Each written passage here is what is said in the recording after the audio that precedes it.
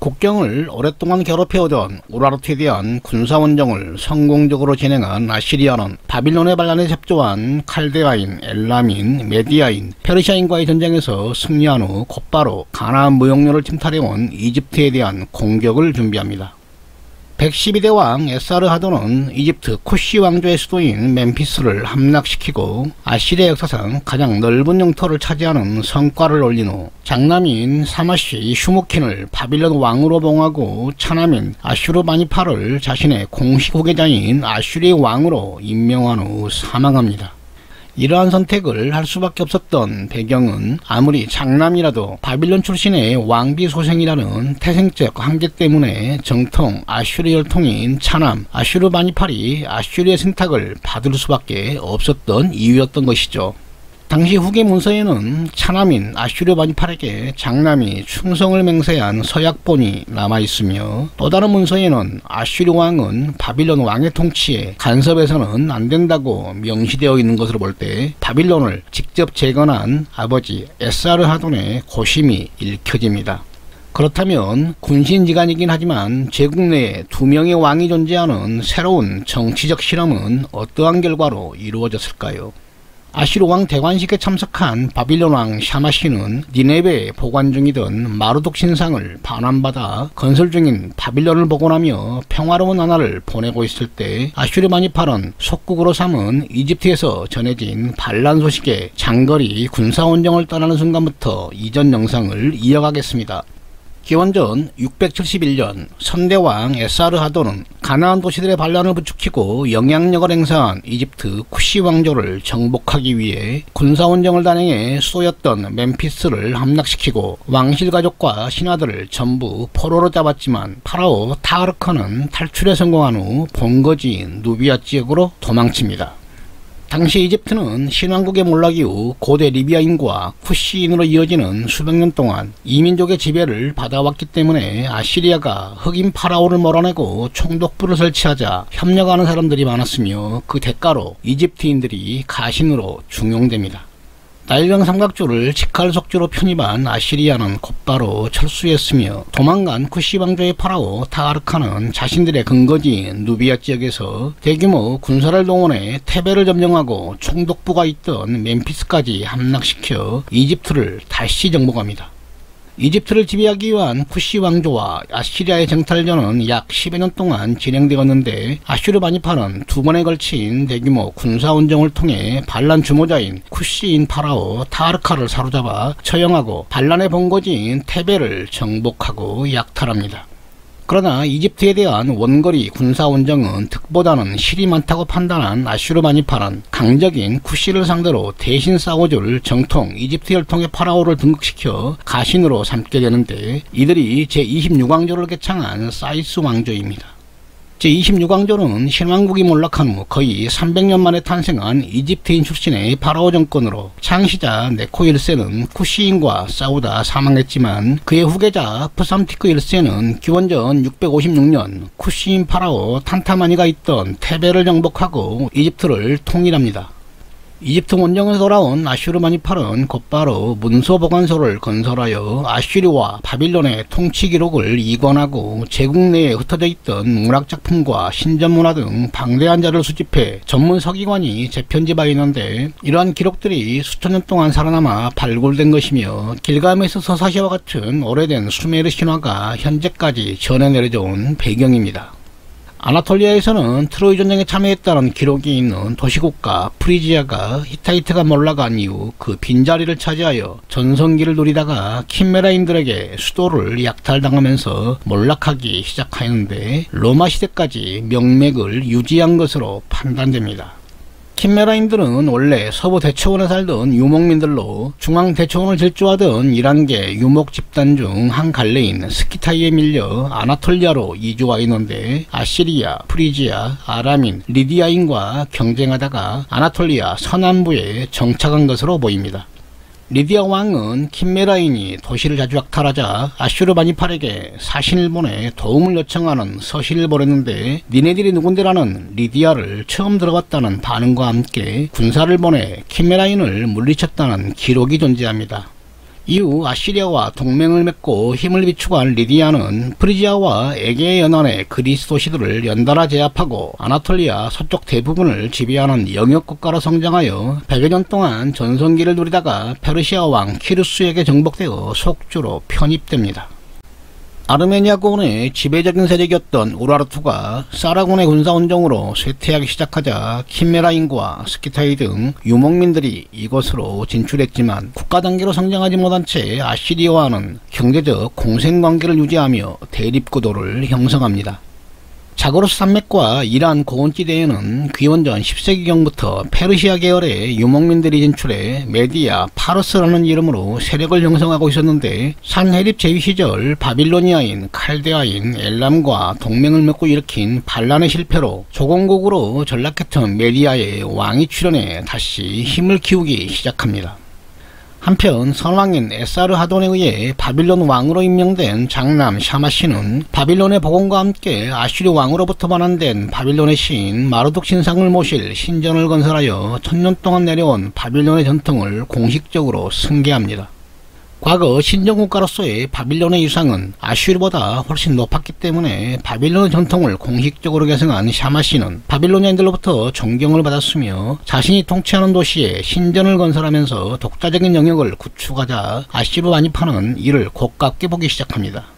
바빌론에서 발굴된 왕실 문서에는 바빌로니아 도시들이 마루둑의 신탁을 받은 샤마시를 왕으로 모셨다는 증거가 여러 대 있지만 와시류 왕은 몇몇 도시에 총독을 파견해 군신관계를 강조하며 바빌론 왕을 견제했다는 증거 또한 니네베에서 발견되었기 때문입니다.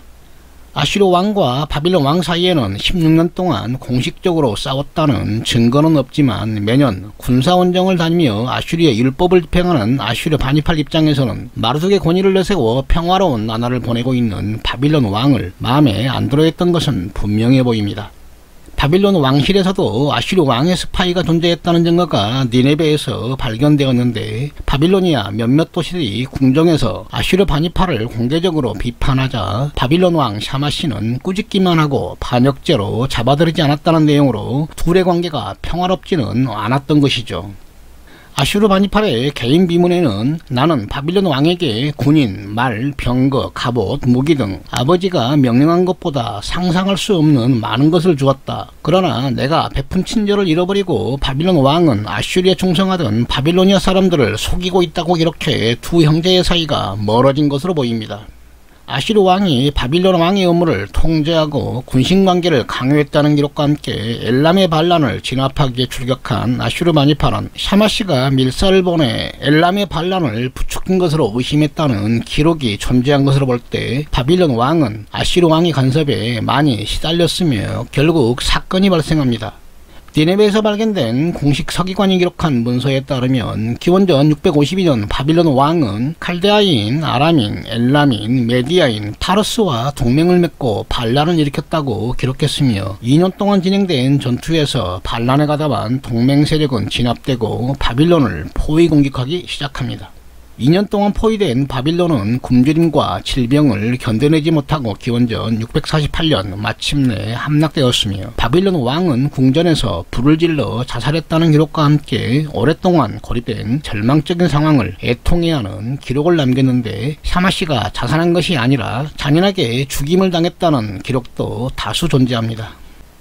다른 공식 문서에는 반란 초기 바빌론 총독이 아시리 왕에게 편지를 보냈는데 바빌론 왕이 아시리아를 차지하려고 하는 것이 아니라 바빌론의 독립을 원하고 있다는 보고를 했지만 아슈르마니팔은 샤마시를 불충한 형제 또는 적대적인 형제로 언급했다고 기록합니다.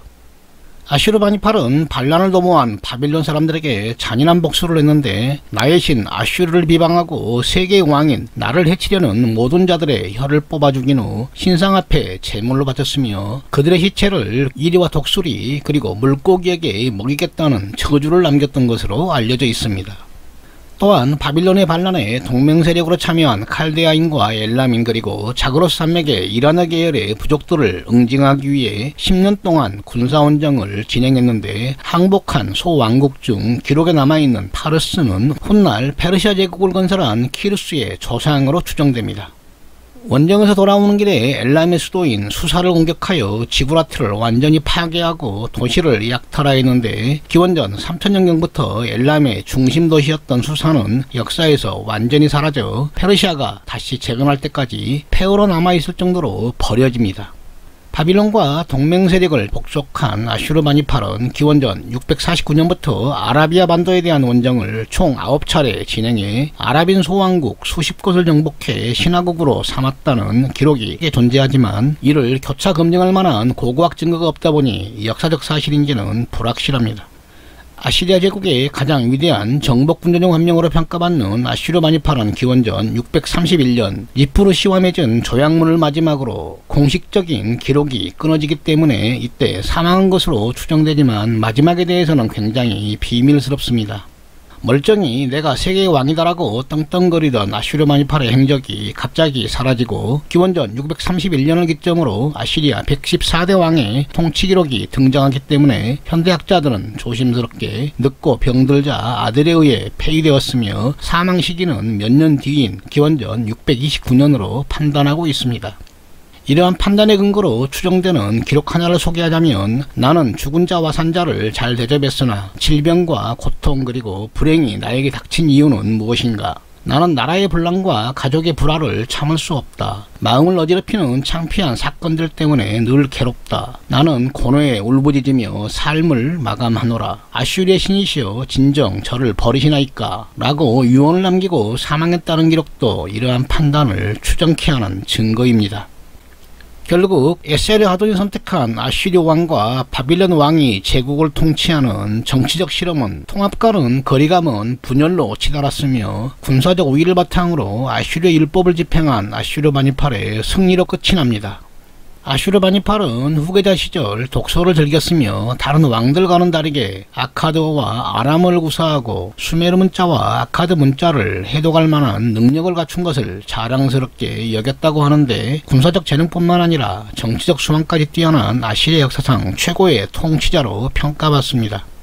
그가 이집트 원정에서 보여줬던 반란에 대처하는 술수와 판단력은 대단한 정치적 결단이며 이후 형제간에 벌어진 내전에서는 치밀한 정치력과 잔혹한 정복군주의 모습을 보여주었는데 제2기간 내내 진행된 군사원정에서 단 한 번도 패배를 기록하지 않았다는 점은 당대 세계관의 최강자였음을 증명합니다.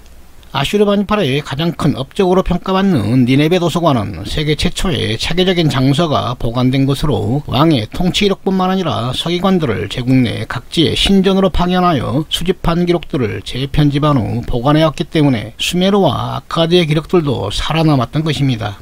아시리아의 끝없는 확장 속에 경제적 혜택을 독점한 수도 니네베는 약 10만 명 이상의 시민이 거주하는 당대 세계에서 가장 큰 도시로 추정되는데 기원전 612년 파괴될 때 도서관도 불타는 성벽 아래 오랫동안 묻혀있다 니네베 발굴로 빛을 본 곳이죠.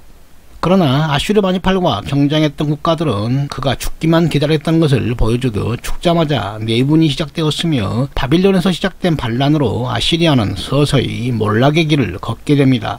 다음 시간에 내분과 반란으로 몰락하는 아시리아의 마지막 순간과 그 후과를 얘기해 보도록 하겠습니다.